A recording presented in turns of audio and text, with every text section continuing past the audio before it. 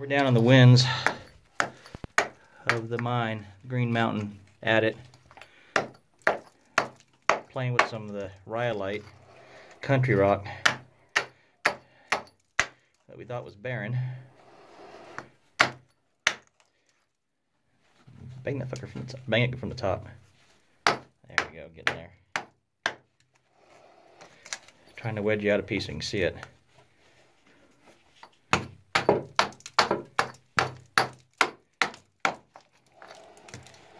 Should have brought my. Oh man, you can smell the arsenic in it. Yep. Holy crap! can you smell through my mask. Yeah. Sparks popping off there. There we go. Let me look at it. Hold it right there. Yeah, all right, twist it around a little bit. All right, let me just play with it. But yeah, you can see. Let me do it this way. Not too much. You can see all that sparkly in there. Just chunks of pyrite in there. Limonite throughout it. Look at that vein. All coming right through here. We thought this was barren rock. We just decided to top down and take a look. Look at that right there. It's kind of hard to see. But right there, that little nodule kind of looking thing. Can I get it? Can I get it to focus right? Ah, looky here. There we go. Copper vein with chalcopyrite and pyrites in it. Hell, it looks like gold almost. Right there? Yep. That's what I was thinking. We got arsenopyrite, we got copper. Another piece I pulled off right up here.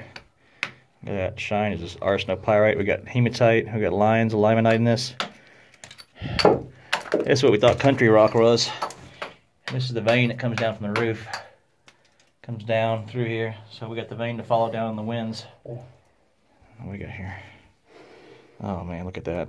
Those chunks are just massive chalcopyrite and pyrites in there. Mm, man, look at that pretty stuff. It's a little bit brighter on the camera than it is in life. It's not quite as yellowish.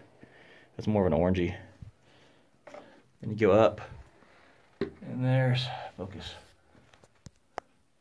And there's our copper going all the way through, which ends about eh, about 75 foot from here, and it goes back more to more into what I want to say goes more into goldish stuff than copper.